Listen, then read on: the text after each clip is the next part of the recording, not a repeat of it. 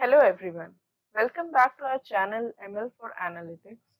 In this video tutorial, we will be discussing radial gauge chart in Power BI. So let's get started.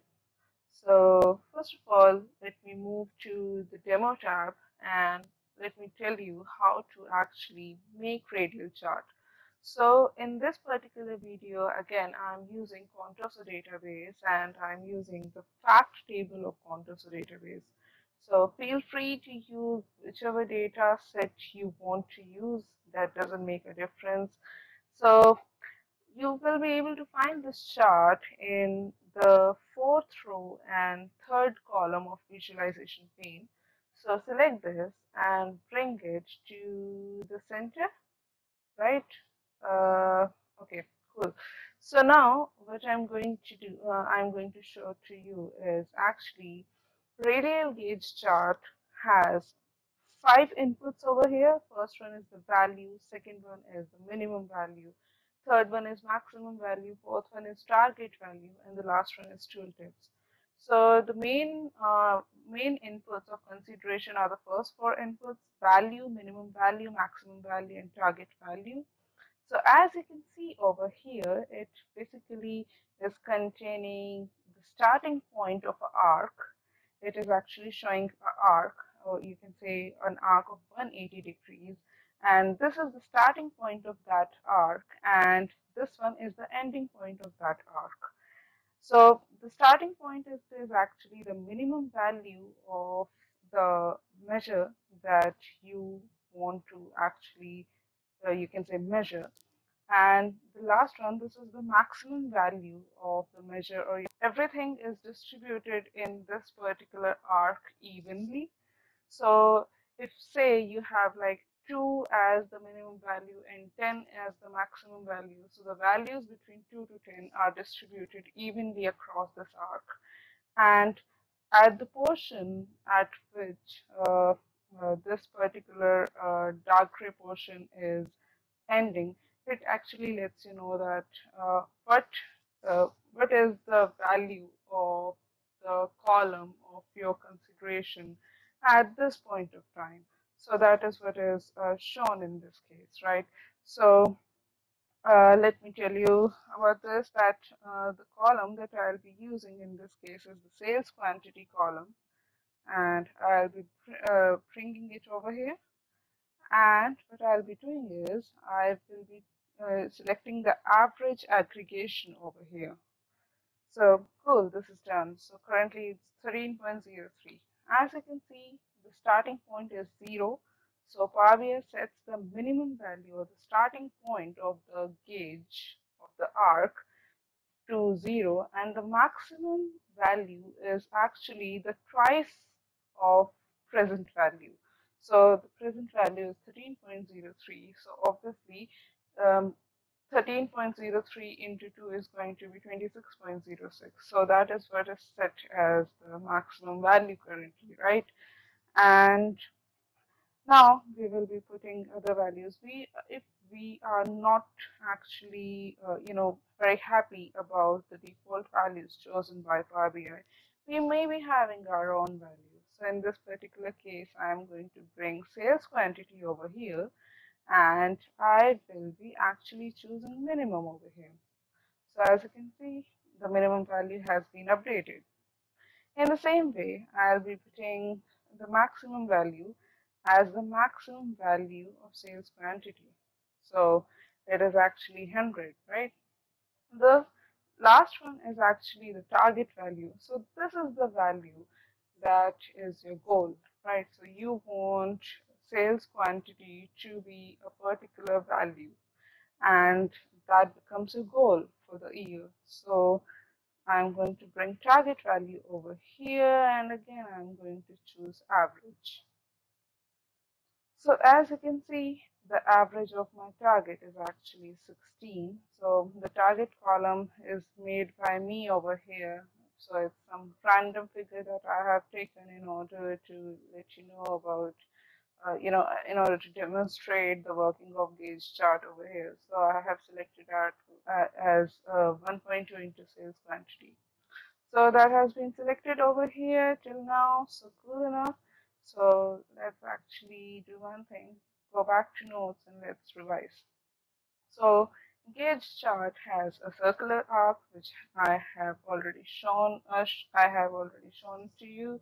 And the second point is it is used to measure the progress towards a goal or KPI, or you can say key performance indicator. So it actually is used to measure the health of your your measure, right? So third point is actually a single value shown represents this progress. So as you can see, there's this call out value. Uh, this is actually the present value of uh, whatever measure you're using right now. You're using sales quantity and it is actually the present average of sales quantity, so 13.03. So this actually um, shows you the progress towards your goal. The fourth point is that the line represents the target. It can be set both from data and manually. So this particular black line, it is a target and Currently, in this case, I have used data in order to pick up the target. But this can also be set uh, manually. I'll show it to you uh, very soon. And then uh, the next point is that it has a it has minimum and maximum value. So again, this can be set both from data and manually. Um, so all the values from minimum to maximum, they spread evenly across the arc. By default, maximum value is set to double the value measured and minimum value is set to zero, right? Cool enough. So now uh, let's, uh, I, am going to show you how to actually select uh, the values manually. So I'm going to remove all these three things, uh, three inputs over here so this is set to 13.03 now, so cool enough. Now I'm going to go over here. I'm going to select gauge axis over here. So as you can see, I can actually input minimum, maximum, and target over here. So in case of minimum, I'm going to choose whichever value I want. So again, I am going to choose say 5. And in case of maximum, I'm going to choose say 20. Mm, and in case of target, suppose my target was actually 16, right? I wanted 16 uh, sales quantity on an average. So this has been set. So as you can see, I'm very far behind my goal. I it's August and really less amount of months are left with me. So I have to I have to uh, bring this uh, blue ending to this, right? So I'm three points behind currently, which is not so good. So this has been set. Now I am going to actually do one more thing. I am going to set data labels. So I am going to remove the decimal points. So now you can see 5 and 20 are without decimal points, which looks good to me, right? And I want the target again. Target also to be without decimal points. So this also looks good. Then call out value is actually this value which is shown over here. So again in this case also I'm going to use 0 so looks fine for me. The next one is actually the data colors thing. So uh, I mean the target is dark blue and the fill is uh, this color blue itself so I'm actually going to change it a bit. I'm going to use uh, my theme color that is mustard yellow over here and the target that I'm going to choose is black color. Right? So this looks okay to me. Then uh, the title in case of title I'm going to see I'm going to show it as uh, uh, Entity gauge chart. Okay so quantity gauge chart. Okay. And I'm going to increase its size a bit